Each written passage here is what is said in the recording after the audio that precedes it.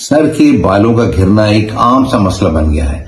इसकी बहुत सारी वजूहत हैं और जब किसी बीमारी की वजह पता चल जाती है तो उसका इलाज करना आसान हो जाता है, फिर एतमाद के साथ उसका इलाज किया जाता है। इसकी वजूहत में पुअर न्यूट्रिशन है।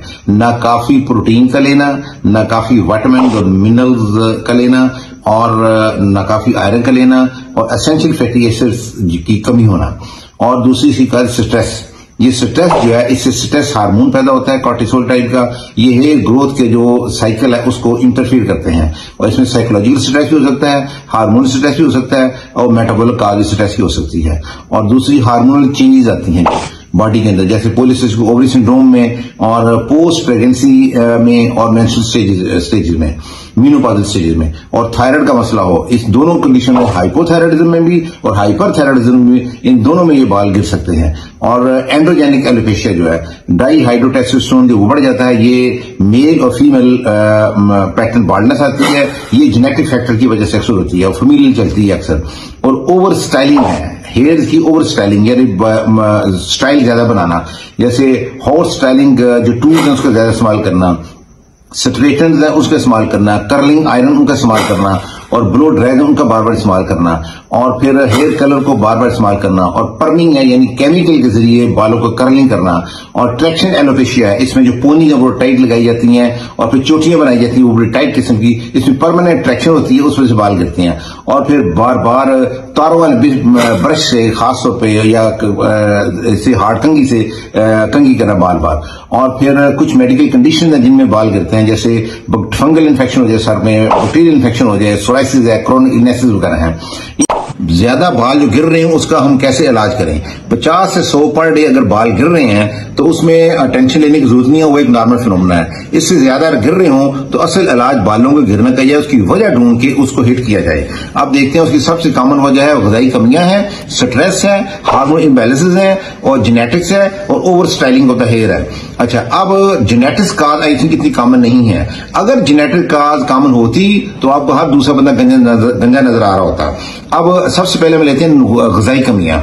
इसमें प्रोटीन जो है उसकी कमी ना आने दी जाए। उसका डेली जो माकूल मकदार वो लेनी चाहिए। मिनिमम जो प्रोटीन है point eight gram per K G body weight daily हर इंसान को लेनी चाहिए। क्योंकि बाल मेनली बना ही प्रोटीन से होता है।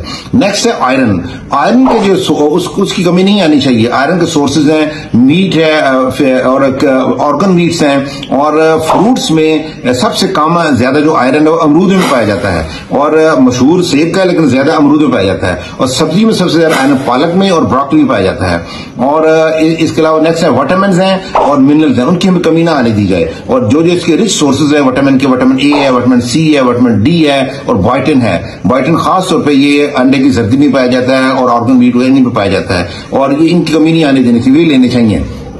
और नेक्स्ट ये है ओमेगा थ्री जो फैटी एसिड है, उसकी कमी नहीं आनी चाहिए। ओमेगा थ्री के जो सोर्सेज हैं, वो फैटी फ़िश है, अलसी है, अखरोट है, बादाम वगैरह हैं। और इसके अलावा हाइड्रेशन अच्छी रखनी चाहिए। तो इन सब चीज़ और नेक्स्ट जो है स्ट्रेस है। अब स्ट्रेस में आ, उसकी भी काज ढूंढ के स्ट्रेस को दूर किया जाए। अगर काज नहीं पता तो ये सेक्रेटरी वालों से डिस्कस किया जा सकता है। नंबर दो रेगुलर एक्सरसाइज करके योगा की एक्सरसाइज करके मेडिटेशन इससे भी स्ट्रेस जो रिलीफ मिलता है। और नेक्स्ट जो ओवर स्टाइलिंग इसकी कहा है। ओवर स्टाइलिंग इसकी ना की जाए, जो हेयर स्टाइलिंग के जो इंस्ट्रूमेंट्स हैं, जैसे स्ट्रेटन वगैरह हैं, जो हीट लगाते हैं केमिकल लगाते हैं, उनका इस्तेमाल कम से कम किया जाए। सर के बाल जब बहुत ज़्यादा क्वांटिटी में गिर रहे हों तो उसकी मैं आज मुख्तसर और जामे आपको एलोपैथी ट्रीटमेंट बताता हूँ। इसमें जो टॉपिकल एप्लीकेशन में मिनोक्सिडिल है ये इस्तेमाल की जाती है सोल्यूशन फॉर्म में स्प्रे फॉर्म में। ये एफ़ टी अप्रूव्ड मेडिसिन है। और फेनेस्टराइड है, वो सोल्यूशन फॉर्म में इस्तेमाल की जाती है। गो इसकी टेबलेट भी आती है। ये डीएचडी डाई हाइड्रोटेस्टोन को ब्लॉक करती है। और टॉपिकल स्टीराइड है डॉक्टर साहब, वो भी इस्तेमाल कराते हैं। ये भी इसमें बहुत फ़ायदा मंद होते हैं बालों को ग्रो करने में। और फिर एसेंशियल ऑयल्स हैं इनका भी रोल है हेल्थ न सिर्फ़ बालों की ग्रोथ में, बल्कि बालों को चमकदार और लस्टर देते हैं और उसको सेहतमंद बनाते हैं। उनमें है रोजमेरी ऑयल है पेपरमेंट ऑयल है कैस्टर ऑयल है और कोकोनट ऑयल है और अर्गन ऑयल है। अब आप ऐसे हेयर ग्रोइंग सीरम और शैम्पू इस्तेमाल करें जिनके अंदर डीएचडी ब्लॉकिंग इंग्रीडियंट्स लगे हों और जिनमें बाइटन हो कैफीन हो और कैटाकनहोल वगैरह वो चीज़ें हों। और फिर कुछ बालों की ग्रोथ के लिए सप्लीमेंट्स भी आते हैं। बेसिकली सप्लीमेंट देने का मकसद यही होता है कि जो गजाई कमियाँ हैं जिनकी वजह से बाल गिर रहे होते हैं, वो वो कमियाँ पूरी हो जाएँ।